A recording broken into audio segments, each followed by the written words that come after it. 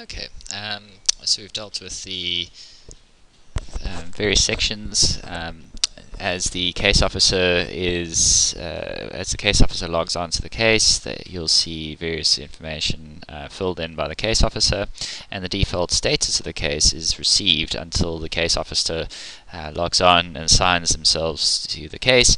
Uh, you will then see the case status change to pending and under assessment, and various other statuses will follow uh, depending on where the case is at. Um, under the uh, top you'll see view and edit. Um, you can uh, click on edit and go back into the case at any time uh, and eventually the case will be closed once it's been processed and then will disappear from view. Um, so if there's any other documentation or the mapping was incomplete you can get back in there and correct it.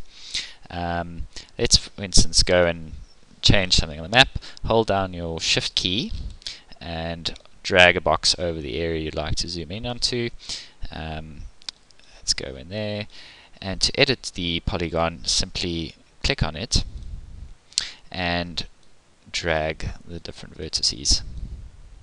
Okay, and you can go back to save.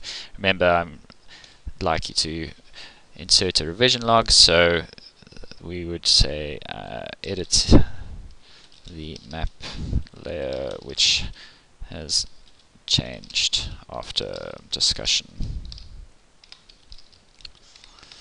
The heritage. Okay, so let's hit save.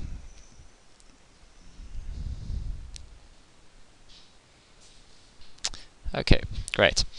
Um, the that is it really for a case. So you can uh, go back at any time. You can see how many times the case has been read. Um, so uh, more controversial cases perhaps would have many reads um, and uh, these can be sorted uh, in the views by the, the view counts. Um, and uh, your decisions once they've been made uh, will appear in a block on the right.